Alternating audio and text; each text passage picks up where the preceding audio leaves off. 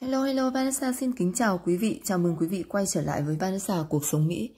Hôm nay là một ngày phải nói là có quá nhiều sóng gió thì Vanessa hôm nay cũng sẽ xin lên đây để chia sẻ tiếp về cái thông tin gói cứu trợ mà hiện tại đang gặp rất nhiều khúc mắc. Thì như quý vị đã nhìn thấy những cái tiêu đề mà Vanessa để trong cái video này để lý giải cho tại sao lại uh, có một cái uh, điều mà Tổng thống Donald Trump đã đưa được bà Nancy vào chồng là ở chỗ nào? Và tại sao 1.200 stand be alone kia lại khả quan Đảng Dân Chủ sẽ buộc phải thông qua? Thì chúng ta cùng nghe cái nội dung hôm nay uh, trong cái cuộc đàm phán của ngày 7 tháng ờ, 10 là như thế nào? Và họ vẫn đang ở trong cái quá trình đàm phán thì Vanessa sẽ chia sẻ những gì họ đã đăng ở trên um, trên trên trang báo mới nhất của ngày hôm nay thì để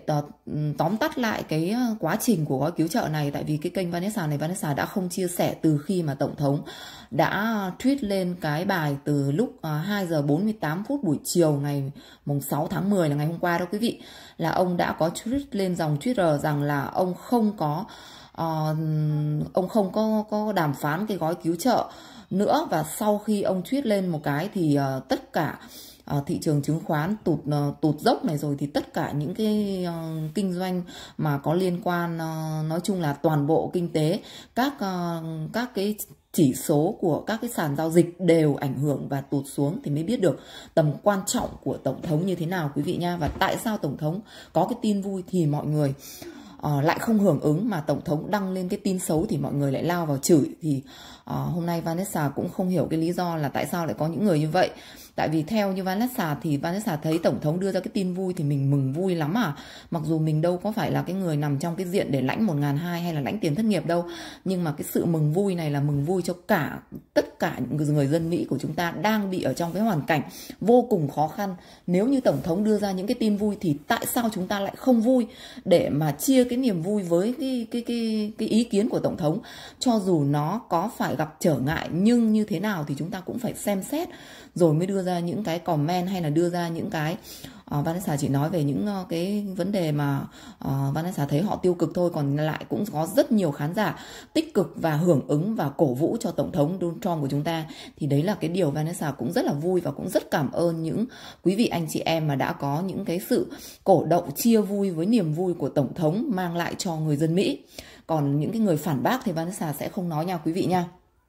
Thì sẽ đi vào cái nội dung tiếp của cái video này là tổng thống ờ, sau khi mà đã đưa ra cái bài tweet đó thì ờ, bà Nancy Pelosi đã gần như là vào bẫy đó quý vị. Thì bà ấy đã đưa lên trên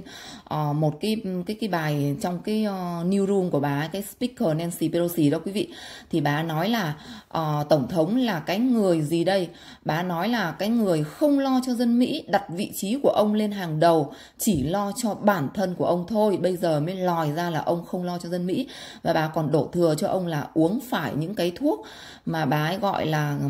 uh, steroid, steroid là ảnh hưởng đến uh, uh, giống như là uh, ông bị uh, những cái chứng bệnh uh, từ những cái uh, phản ứng của những cái thuốc mà ông ấy dùng đó quý vị. Và bà còn bảo ông là bị nặng á trời ơi Vanessa cũng không thể hiểu nổi luôn là bà ấy đang suy nghĩ gì về tổng thống. Và uh, sau khi bà ấy uh, bày bày tỏ những cái sự uh, thất vọng về cái quyết định của ông ấy thì bà cũng uh, có vẻ là vui sướng vì thôi ông đã chặn cái gói cứu trợ ông đã không thương tiếc người dân ông đã làm ảnh hưởng đến kinh tế uh, làm mất hơn 400 điểm của thị trường chủ chứng khoán tụt dốc là họ sẽ chửi ông rồi. Rồi thì ông đã không đưa gói cứu trợ cho đến người dân là người ta sẽ không có ai bầu cho ông nữa là bà đã mừng thầm rồi đó quý vị nhưng bà không biết rằng có thể Tổng thống Donald Trump đã phải dùng những cái đó thì mới đối phó được với bà ấy. Và cho đến buổi tối ngày hôm qua thì ông đã đưa ra hai bài tweet quan trọng. Một bài đó là ông đưa ra cái lệnh executive order, ông đã dự định sẽ dùng cái khoản tiền còn thừa ăn rút của gói khe lần một để mà tài trợ cho PPP Small Business gặp phải khó khăn hiện tại bây giờ và cũng như là hàng không hiện tại đang cần vô cùng đó thì ông đưa ra cái bài tweet đó là bài tweet đầu tiên và cách sau đó một giờ nữa thì ông lại tiếp tục đưa ra cái bài tweet về cái gói ờ, uh, 1.200 thì ông có nói là 1.200 này uh, ông nói là ông sẽ ký, ông sẽ sẵn sàng ký ngay bây giờ. Và hỏi bà Nancy là bà có nghe thấy tôi uh, có thể nghe thấy là tôi đang nói không là tôi sẽ ký cái gói 1.200 ngay bây giờ? Nếu như nó được gửi dưới dạng là một cái gói Stand Be Alone uh, và nó sẽ được đến tay người những người dân Mỹ yêu quý của tôi ngay lập tức đó thì ông có nói ở trên bài Twitter của ông là như vậy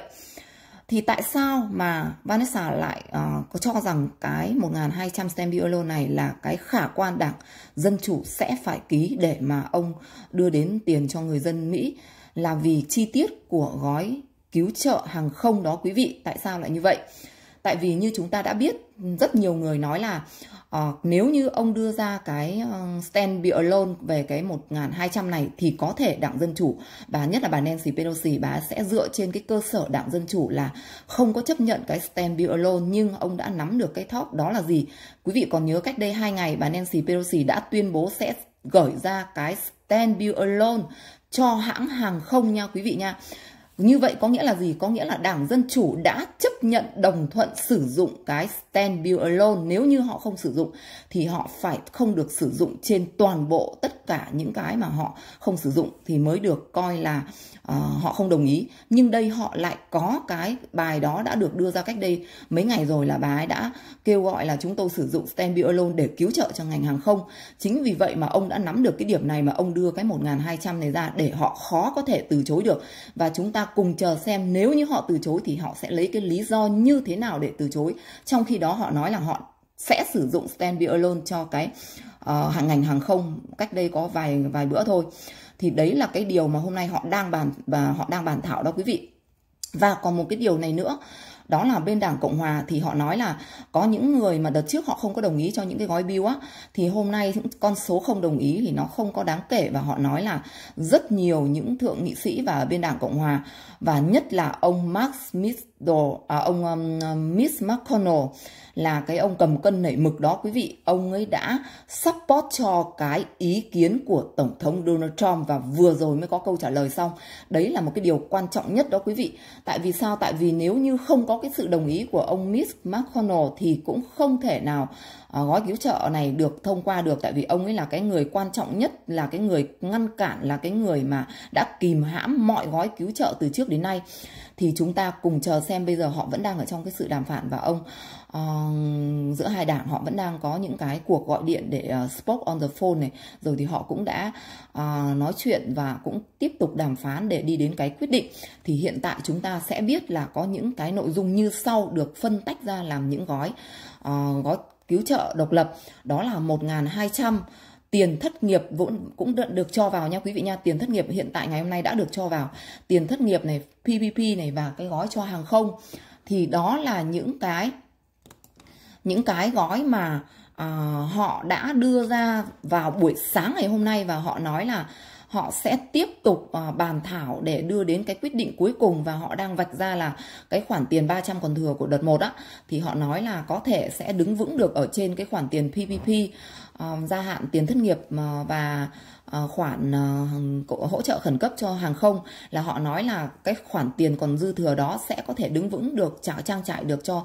uh, những cái khoản kia. Còn lại 1.200 thì mới là cái vấn đề mà họ đang phải đưa vào để mà bàn thảo thôi đấy là họ muốn thông qua trước cái ngày bầu cử đó quý vị, thì họ mới cần cái sự bàn thảo là như vậy. Còn lại nếu như để sau ngày bầu cử thì đâu cần phải bàn thảo nữa đâu quý vị, tại vì nó rất là đơn giản thôi. Nếu như chỉ cần nói một câu là thôi, giống như hôm qua tổng thống có nói đó, để qua ngày bầu cử rồi tính thì tất cả sẽ gì? Sẽ chấm dứt từ nay đến lúc bầu cử, không cần phải bàn thảo gì nữa. Nhưng chúng ta thấy không? Hôm nay bắt đầu phải đi vào để bàn thảo, để thương lượng, để cho ra cái kết quả và như quan điểm của rất nhiều người ở bên đảng Cộng Hòa, cũng như rất nhiều dân biểu ở bên đảng Dân Chủ, thì họ rất tin tưởng và thậm chí họ còn nói là I will support for uh, Donald Trump President Bill đó quý vị. Hôm nay rất nhiều người họ đã ở trong hai bên đảng họ đã nói còn lại dư luận bên ngoài dân Mỹ nói gì thì Vanessa cũng đọc quá nhiều rồi. Thì uh, Vanessa nghĩ là quý vị cũng đã biết quá nhiều về những cái uh, comment ở trên Twitter rồi. Thì đó cũng chỉ là những cái nhận xét của muôn muôn và muôn vạn người thôi. Thì chúng ta cũng lấy những cái ý kiến đấy để mà chúng ta đọc để biết thôi chứ nó không có quyết định được cái gói cứu trợ quý vị. Cái gói cứu trợ hiện tại bây giờ là sẽ cần phải có cái sự quyết định của hai bên đảng thì Vanessa cũng chia sẻ đến đây thôi. Còn về cái nội dung uh, chi tiết nó như thế nào thì Vanessa sẽ tiếp tục uh, xem cái thông tin mới nhất của ngày hôm nay. Thì như chúng ta đã biết là cái bài Twitter của tổng thống Donald Trump buổi sáng sớm ngày hôm nay là ông đã đưa lên là uh, move fast có nghĩa là ông gửi cái tin nhắn cho bà Nancy Pelosi là hãy uh, hãy hãy hãy làm nhanh lên, hãy chuyển động nhanh lên. Tôi đang chờ để ký đây. Đó thì đấy là cái bài tweet gần nhất của ông trong ngày hôm nay về gói cứu trợ. Thì Vanessa cũng chia sẻ để quý vị được biết và rất mong quý vị hãy ủng hộ Vanessa bằng cách like, share video cũng như ai chưa đăng ký kênh thì đăng ký kênh ủng hộ cho Vanessa có động lực làm tiếp video để uh, đi đến cái đích cuối cùng của gói cứu trợ và tiền thất nghiệp nha quý vị nha. Cảm ơn quý vị rất là là nhiều và chúc quý vị thật nhiều sức khỏe may mắn trong mùa dịch này nha quý vị nha. Hẹn gặp lại quý vị trong những cái video clip lần sau. Bye bye.